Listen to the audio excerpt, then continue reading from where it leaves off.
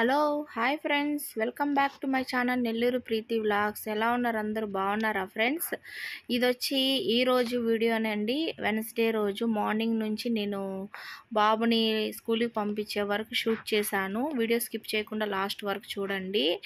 So rice పెట్టేశాను పాలు పెట్టేశాను స్టవ్ మీద.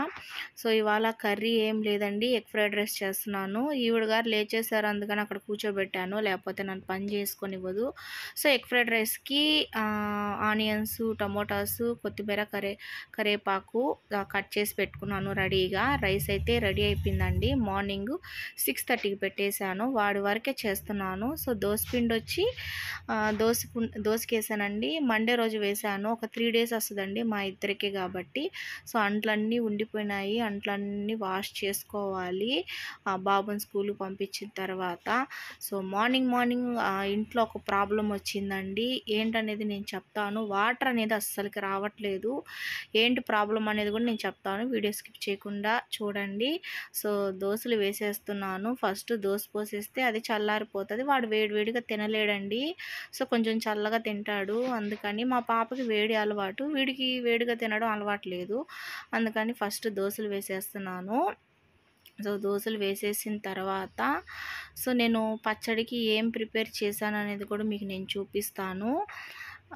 వాడు జస్ట్ ఒక రెండు దోశలే తింటాడండి. లేదా ఎగ్ దోశ అయితే ఒకటే తింటాడు. అంతకు మించి వీడు ఎక్కువ తినడండి టిఫిన్ అనేది.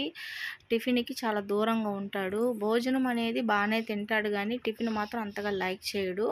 సో వాడికి ఒక రెండు దోశ నాకు ఒక రెండు దోశ మొత్తం నాలుగు దోశలు ఇంట్లోకి మా వారు బయట తినేస్తారు. ఇక్కడ వేరుశనగ పప్పులు తినే శనగపప్పు పచ్చిమిరపకాయలు చింతపండు ఉప్పు అంతేనండి. నేను పచ్చడికి వేసేది. సో వీడియో క్లిప్ అనేది డిలీట్ అయ్యింది. పచ్చడి ఎలా చేయాలో కూడా నేను వీడియో షూట్ చేశాను. సారీ ఫ్రెండ్స్ నేనైతే ఇలాగే సింపుల్ చేస్తాను. లేదంటే ఒక్కొక్కసారి కొబ్బరి చట్నీ చేసుకుంటాను.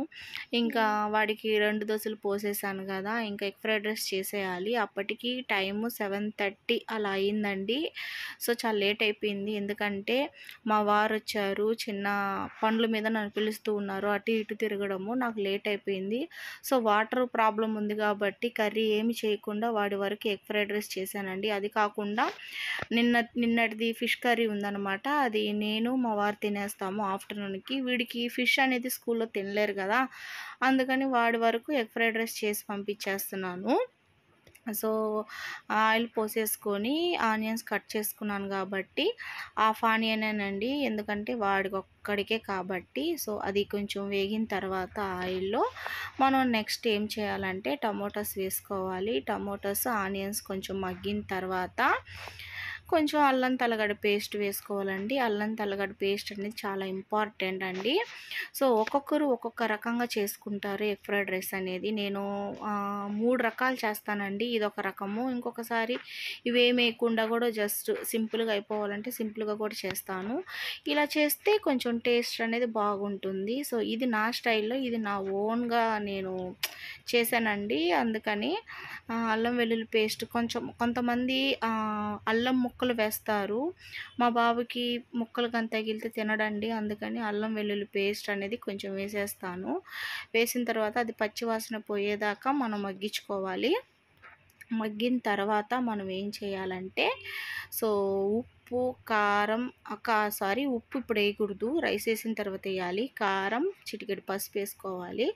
ఎందుకంటే మనము ఆయిల్లోనే వేసేస్తే కొంచెం బాగా కలిసిపోతుంది. లేదా ఎగ్ వేసిన తర్వాత మనం వేసామంటే అక్కడక్కడ కొంచెం చప్పచప్పగా ఉంటుంది. అందుకని ఫస్ట్ ఉప్పు సారీ కారం పసుపు వేసిన తర్వాత టూ ఎగ్స్ వేసానండి. టూ ఎగ్స్ వేసిన తర్వాత సో మనం బాగా కలుపుకోవాలి. పీసెస్ పీసెస్గా మనం హైలోనే చేయాలండి. ఎగ్ ఫ్రైడ్ రైస్ అనేది మధ్య మధ్యలో సిమ్లో పెట్టుకోవాలి కానీ మొత్తం సిమ్లో చేయాలంటే అవ్వదన్నమాట ఫ్రైడ్ రైస్లన్నీ ఫ్రైడ్ రైస్లన్నీ మనం హైలోనే పెట్టి చేసుకోవాలి. సో ఇదంతా బాగా అదే ఫ్రై అయిన తర్వాత అంటే ఎగ్ ఫ్రై అయిన తర్వాత మనం నెక్స్ట్ ఏం చేయాలో చెప్తాను. చిల్లీ సాస్ ఉండాలండి ఖచ్చితంగా. చాలా బాగుంటుంది. ఆ ఫ్లేవర్ అనేది మనకి మధ్య మధ్యలో టచ్ అవుతూ ఉంటే. సో మిరియాల పొడి కూడా వేసుకోవచ్చు. ఇంట్లో మిరియాల పొడి నేను ప్రిపేర్ చేయలేదు. అయిపోయిందండి. అందుకని అది ఆప్షనల్ అన్నమాట.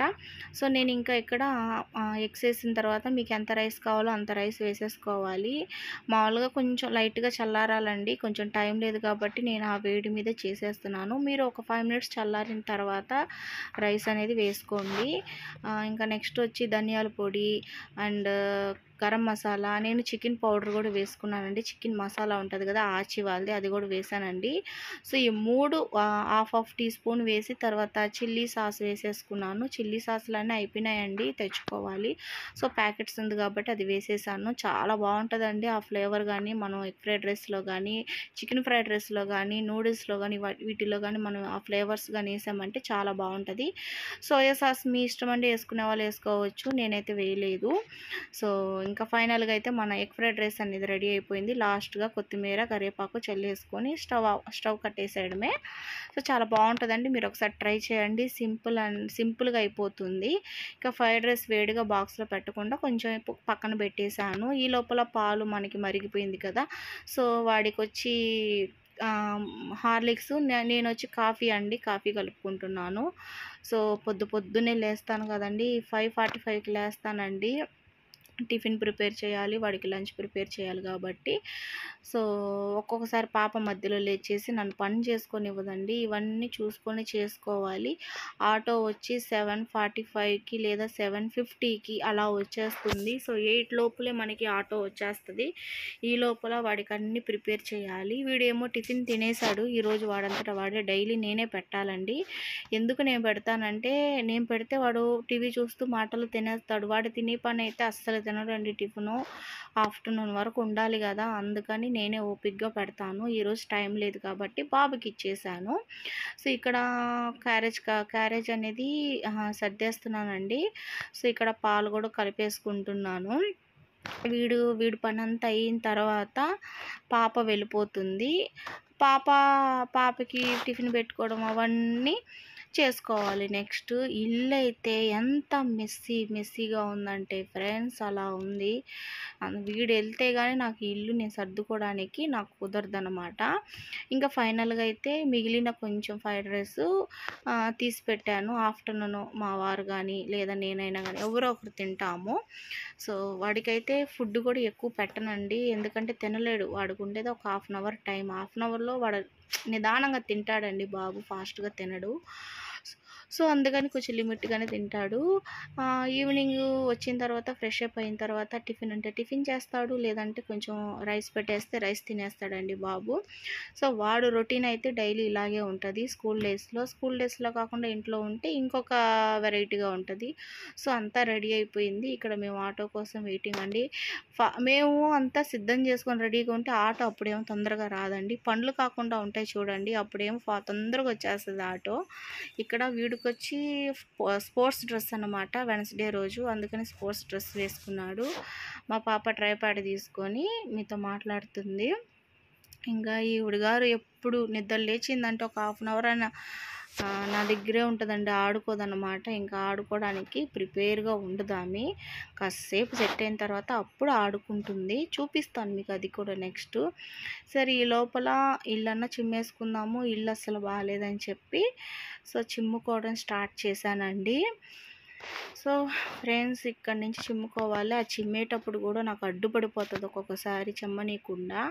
ఈరోజు అలాగో సైలెంట్గా ఉంది. ఎందుకు సైలెంట్గా ఉందో కూడా మీకు నేను చూపిస్తాను చూడండి. ఆవిడ సిన్సియర్గా ఒక పనిలో ఉంటే పక్కన జోలికి రాదనమాట పనిలో కానీ లేకపోతే ఖచ్చితంగా చిమ్మే చోట ఖచ్చితంగా నాకు అడ్డు వస్తూనే ఉంటుంది. ఏంటి ఏం పని చేస్తుంది ఏం చేస్తుందో మీకు నేను ఇప్పుడు చూపిస్తాను చూడండి ఫ్రెండ్స్ ఏం చేస్తుందో. ఫస్ట్ మన ఛానల్ చూస్తుంటే సబ్స్క్రైబ్ చేసేసుకోండి ఫ్రెండ్స్. రెడ్ కలర్లో ఉంటుంది పక్కనే బెల్ ఐకాన్ ఉంటుంది ఆలని పెట్టేసుకోండి. నేను ఎప్పుడు వీడియో పోస్ట్ చేసినా మీకు నోటిఫికేషన్లోకి వస్తుంది. చూసారా? క్లోజప్ పేస్ట్ నోట్లో పెట్టుకొని మనకి ఆ మూత చుట్టూ కొంచెం పేస్ట్ ఉంటుంది కదా అది మొత్తం సిప్ చేసేస్తుంది. ఆవిడ పేస్ట్తో బ్రష్లో వేసిచ్చి తోముకోమని ఇస్తే అస్సలు అస్సలు కోఆపరేషన్ చేయదు కానీ పెద్దవాళ్ళు పేస్ట్తో మాత్రం బాగా కావాలి తినడానికి. చూడండి ఎట్లా సప్పరిస్తే ఎట్లా తింటుందో. అందుకు ఆ పనిలో ఉంది కాబట్టి నా జోలికి అనేది రాలేదు తను. ఇంకా నేను ఇటు చిమ్మేసుకుంటున్నాను. బాబుకి వచ్చి షూ వేసుకొని రెడీగా ఉండు నాన్న ఆటో వచ్చిన తర్వాత అని చెప్పాను. ఆటో వచ్చిందండి బాబు వెళ్ళిపోతున్నాడు. సో ఇక్కడ మా హస్బెండ్ ఉన్నారు చూసారా స్కూటీ మీద. ఏంటి వాటర్ ప్రాబ్లం చెప్తానన్నాను కదా సో వాటర్ పైప్ అనేది పగిలిపోయిందండి. మొత్తం లీక్ అయిపోయింది వాటర్ ట్యాంక్లో ఒక్క వాటర్ కూడా లేదు. సో పొద్దు పొద్దున్నే అసలుకి ఎంత లేయడం లేయడము వాష్రూమ్కి వెళ్ళడానికి కూడా వాటర్ లేదండి. అంత ప్రాబ్లం వచ్చేసింది. సో ఇంకా పొద్దు పొద్దున్నే ఈ అబ్బాయి తెలిసిన అబ్బాయి అనమాట ఆ అబ్బాయిని పిలిపించి దగ్గరుండి చేపిస్తున్నాము. ఎంత చేపిస్తున్నా అంత పొద్దున్నే మనకి షాప్స్ ఉండవు కదండి. సామాన్లు కావాలంటే ఎయిట్ థర్టీ ఎయిట్ థర్టీకి అట్లా ఓపెన్ చేస్తారంట. ఈ లోపల చిన్న చిన్న పనులు చేస్తున్నాడు ఆ అబ్బాయి మా హస్బెండ్. ఇంకా తప్పదు కదా చేపించాలి వాటర్ అనేది ఇంపార్టెంట్ కదండి. పొద్దు పొద్దున్నే పిల్లలు ఉండేది కదా. సో మీకు చెప్పాను కదా నెక్స్ట్ వీడియోలో నేను షూట్ షూట్ చేస్తాను. పాప ఇల్లు క్లీన్ చేసేదని. తీసింది క్లీన్ చేయడానికి. వాళ్ళ డాడీ వచ్చేసరికి భయపడి వదిలేసిందండి. వాళ్ళ నాన్న అంటే కొంచెం భయం ఉంది తనకి. వాళ్ళ నాన్నగారు వాళ్ళ నాన్న వచ్చారు చూసారా? వచ్చాడు కదా. అందుకని దాన్ని అక్కడ పడేసి తిడతాడేమో అని చెప్పి లోపలికి వచ్చేసింది. సో పఫ్కాన్ ఉంటుంది కదా మొక్కజొన్నతో చేసి ఉంటారు కదా అది అంటే చాలా ఇష్టం అండి పాపకి. అది తెచ్చిచ్చింది బౌల్లో వేసి బౌల్ కూడా తనే తెచ్చిందండి ఏమని. సరే నేను వేసిస్తే తను తినకుండా అక్కడ పెట్టుకొని టీవీ చూసుకుంటూ ఉందండి. కోకోమెలను డైలీ అంతా అది పెట్టేస్తే ఒక్కోసారి నా జోలికి రాదు. చూసారా? అది జరుపుకుంది రిమోట్. అంటే యాడ్స్ వస్తే ఆమె ఆమె ఆమె కట్ చేసుకొని ఆన్ చేసుకుంటుందండి. ఇవన్నీ చేస్తుంది పనులు ఇంకా వెక్కి అంటే అన్నీ సిద్ధం చేసుకుందాం ఆమె పక్కనే పెట్టుకునేలాగా ఇంకా ఫైనల్గా కూర్చొని మొత్తం అంటే అది కారకారంగా పుల్ల పుల్లగా ఉంటుంది కదా అదంతా తింటుంది కానీ అది మొత్తం తినదు. చేత్తో ఆడుతుంది. సో ఇది ఫ్రెండ్స్ మా పాప పనులు ఎలా ఉంటాయి నెక్స్ట్ వీడియోలో షూట్ చేస్తాను. వీడియో నచ్చితే లైక్ చేయండి షేర్ చేయండి సబ్స్క్రైబ్ చేయండి.